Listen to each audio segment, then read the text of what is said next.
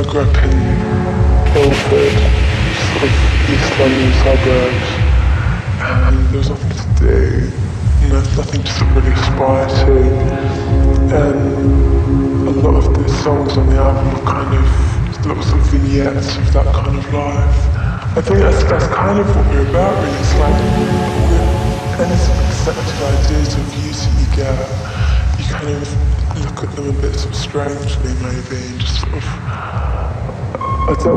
Accept things really, so I like to sort of look at the other side of stuff as much as I can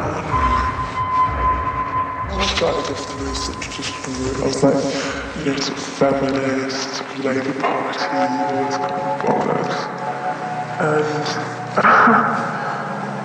And it just sort of started to get to me. It was like there was loads of people at college who just sort of so into sort of very sort of kind of slightly sort of repressive kind of attitude to stuff and they'd be really left wing and they'd be really sort of feminist. And they'd be at home sort of reading porn and kind of just they'd be more into own sort of careers rather than anything truly altruistic. I think it's really escapist thing to do. It's just it's the most escapist thing you can do is get on stage play a set. That's probably the thing that we do that I enjoy the most. And, you know, just able to get paid to do something that's creative, that's a real luxury, really. Just, you know, not many people get the chance to do that. And everyone's capable of that, I think. You can learn to do anything, really. I don't think it's something that you're born with. I don't think you're born with a great talent. I think you learn it, and some people are lucky enough to pick it up along the way. Like, I don't know where I sort of learned to sing or write, you just pick it up, and that's also a question of luck. I don't you're born with talent. Think you, you kind of acquire it along the way.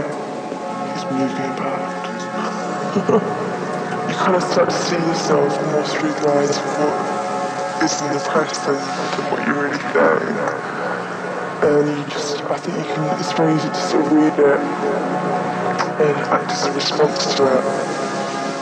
So I'm trying to read too much.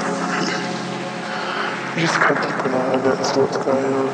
You read interviews with people and they complain about and say, well, I didn't say that, it wasn't really like that, and it didn't really come across like that surely.